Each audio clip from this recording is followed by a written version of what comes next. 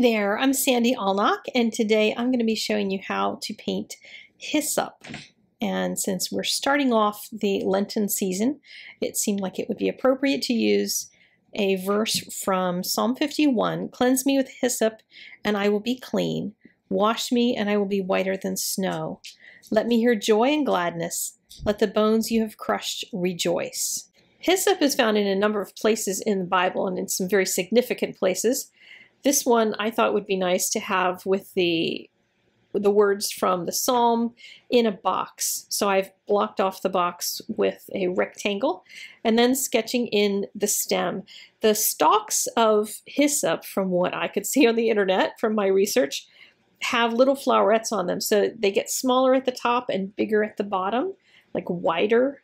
And so you can create that kind of an almost long, elongated triangle shape and then create a bunch of circles on them. And the circles can overlap a little bit and touch a little bit, but this gives you an idea of where the flowerets are. Now, I decided not to draw in all the little flowerets, and I'll show you a really easy way to get around the fact that nothing is drawn in except for little circles.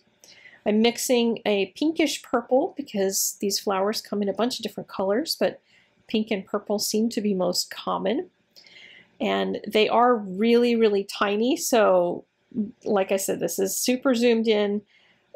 If you look for pictures on the internet, look for ones that are really close if you want to see what I'm trying to, to draw out here. But I'm filling in in between the circles. But when I get to the left and right edges, I'm letting those kind of disappear. And if you end up drawing too much in there and, and giving it too hard of an outline, then I'll show you in a moment what we're going to do to solve that. I'm taking a baby wipe and I'm going to mess up what I've just painted. And the reason is I don't want this to look like a cartoon hyssop. I want it to look like a loose, washy, gorgeous hyssop.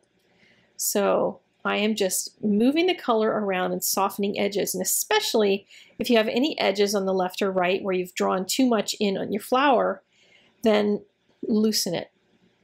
And just break that up so you don't have real hard edges at this stage. So we're going to add more detail to it. If you end up with a really moist, wrinkly page, you can always put another sheet of paper over it and iron it and flatten it out a little bit. But now I'm going to go in and start refining my floweret shapes by just drawing in the edges of a few petals on each one. And some flowers are going to have four petals, some three, some five. I'm not really worried too much about that. I just want to create the illusion that there are petals on each one of these flowerets. Don't just draw an outline all the way around the whole thing or you're going to have to baby wipe it. Just going to tell you now, it's going to save you some pain because if you have an outline, it's going to look cartoony. So make some edges darker and some lighter. Let them be broken up. And now I'm going to add the centers. And in the center, it goes in. So there's like little trumpet shaped flowers. And about two thirds of the way up, or a third from the top, I'm putting a dot of paint and then using a clean brush to pull some color down.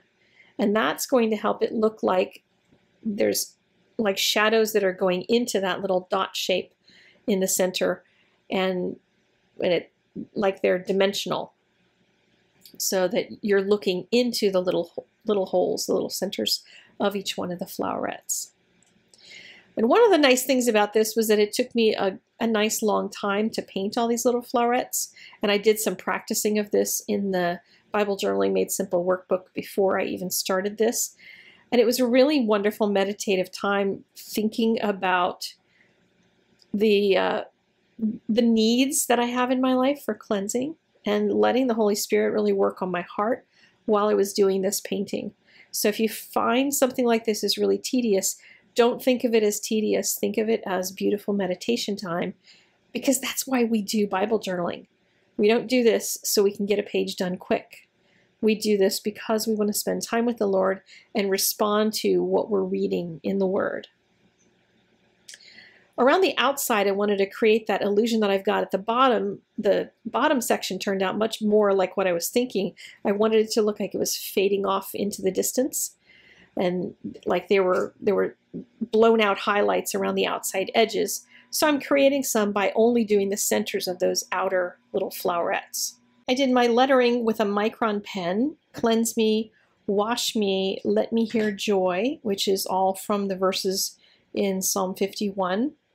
And I decided I would add little centers to my flowers now that everything was good and dry just making a couple lines with a white gel pen. Depending on what kind of flowers you're making, because these are similar to a lot of other flowers, you may need to do that with a black pen or another color or something.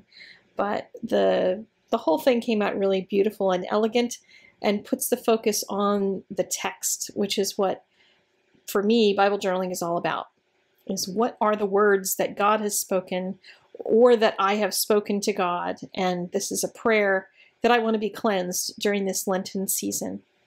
I will see you all again next week with another Bible journaling video. Take care and have a blessed one.